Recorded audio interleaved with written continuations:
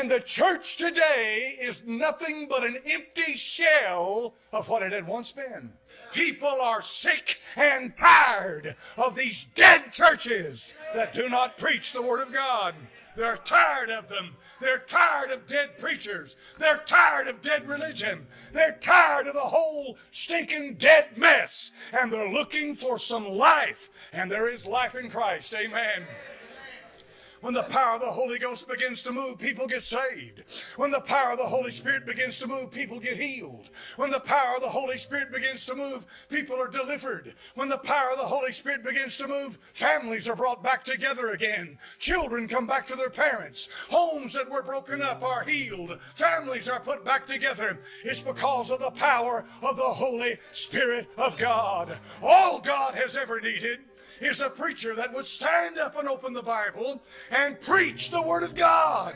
He calls his men to preach God's Word. That's all he's ever called for. And once he has that, the power of God begins to move in the midst of a bunch of people. Talk about three things this morning that they don't talk about today. Number one is sin. You live in a self-centered, selfish world with people that, that all they think about is themselves. And here's how they've been, here's how they've been raised. They come into a generation where everything's been handed to them. They feel entitled. They feel special. And so therefore, when they're introduced to religion, they take the same attitude into their churches that they've been raised in. They feel entitled. They feel special.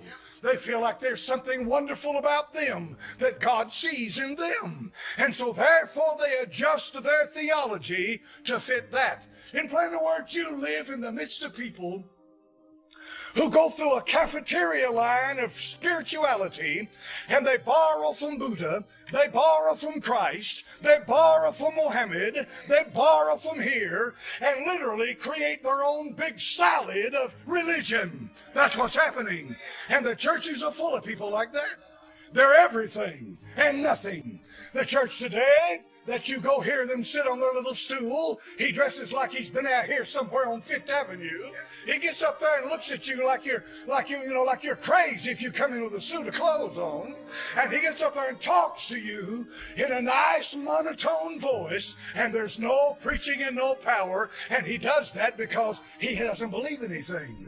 The churches today do not believe that the Bible is really relevant and they'll tell you that the Bible is so complicated that what you do from Scripture is just pull out little tidbits that speak to you and that you enjoy and let that be the guiding principle in your life.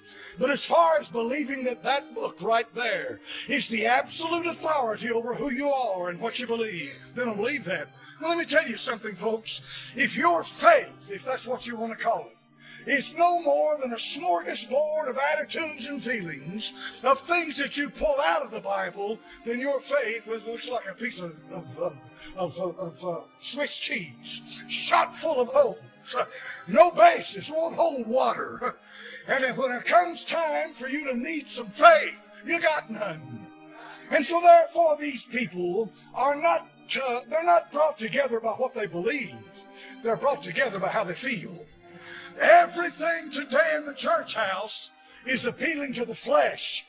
All the music, all the dramas, all the little skits, everything is so superficial, so thin skinned. If there ever was a bunch of people that go to a church house, it's today when people have no root, no foundation, no soul. And anything that moves them emotionally then they enjoy that because that's all their religion is. Something like that. So this is why you never hear a preacher in these churches preach about sin. But the Bible says in the book of Romans, chapter number 5, it says this about sin. It says, Wherefore by one man sin entered into the world, and death by sin. And so death passed upon all men, for that all have sinned. Now, I can't preach a whole message this morning. I got other things to say about sin. But I'm going to tell you, folks, the word itself, to be so little, S-I-N, is such a big issue because we all got a problem with sin. Sin will kill you. Sin will break your home up. Sin will destroy your health. Sin will take your money away. Sin will rob you of your joy. Sin will put a wall between you and God. Sin will take away from you far more than you ever thought it would. Sin is a killer. Sin, when it is finished, bringeth forth death. You can't sugarcoat it. You can't make it look good. You can't make excuses for it. You can't explain it away. What do you do with it, preacher? You get it under the blood. Only thing that you can do with sin is repent of it and plead the blood of Christ to cleanse you and cleanse your conscience and cleanse your walk and give you faith and give you power to overcome whatever besetting sin is destroying your life.